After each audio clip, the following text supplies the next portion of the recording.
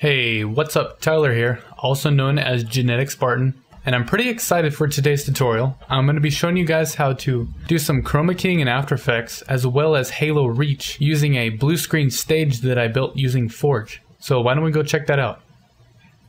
The blue screen consists of Coliseum walls and shield barriers and has enough spawn points to support up to 16 players. The stage itself is large enough to where you can go into Forge and place things like small structures in front of the blue screen if needed. The back wall consists of one-way shield barriers, so if you happen to get stuck, just head over to the teleporter in the right corner of the stage and you'll be able to roam freely again. Okay, so we're back here in After Effects and I have my footage imported already. And as you can see, here is the blue screen stage here in the background. And what I have here is a Spartan running up a sniper's nest, looking around, and then running back down. So I want to take that, drag it down here to make a new composition. But first off, I do want to point out that Halo Reach actually has a max frames per second of 30. So what Bungie did is they added this sort of ghosting motion blur effect in an attempt to smooth out the gameplay. Now that does create problems for us when we're trying to key, but we're going to try to work with that regardless of the semi-transparent edge along our subject.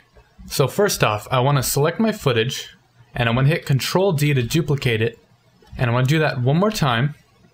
And we'll go to the color mode here. And if you don't see that, you can hit this toggle switch and we'll set that to color burn. And that'll give us a more solid blue background to work with. Now I can duplicate that about two more times and I'll get an even more solid blue. And now I want to hold shift and select the second layer and that'll select all the layers in between. And I want to go to layer and pre-compose. And this will be our mask layer. And what that'll do is it'll take all those layers and put them into one composition for us to work with and make our mask. So make sure the mask layer is selected and go to Effect, Keying, and then Key Light. Now go to this color picker and select the blue of our background and we're going to change the view to screen matte. Now come to the color and adjust it a little bit so we can get more black into our background. And that's pretty good. Now we are losing a little bit of white in our subjects, so I'm going to come down to screen matte and I'm going to bring down the clip white to bring back some of that white. And that looks pretty good right there. Now there are a little bit of speckles here in the background, so I'm going to come to screen shrink slash grow. I'm going to change that to negative 1. And that'll get rid of most of those little speckles in the background.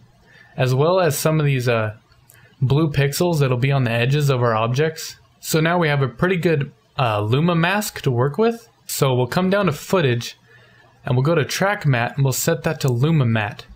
And whatever was black in our matte will be transparent and whatever was white will be more opaque. So now if you see here where our ghosting motion blur was, it's still staying its bluish color. So what we can do to fix that is we'll go to our footage and we'll select effect keying and then key light again. And we'll go to the color here and we'll try to change that to a blue that kind of matches what our background used to be. And we'll try to match the color of our Spartan here by shifting the blue. And that looks pretty good right there. Might be a little bit too much saturated. So I'm going to take the color here and bring it to the left. And try to match it best I can. And that looks pretty good right there. Now press OK. Now I went through a lot of different techniques trying to find the best one and this is the best one I could come up with. And it's not perfect, but it does a pretty good job. Now all we have left to do is to get a background up in here so I'm going to select this picture of some grunts disguised as penguins. I'm going to bring that below my footage. Let's scale that up a bit.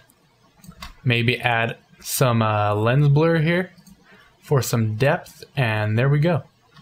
So I'd say we got a pretty nice key out of using this little technique. Uh, you can find a download link to the map in the description.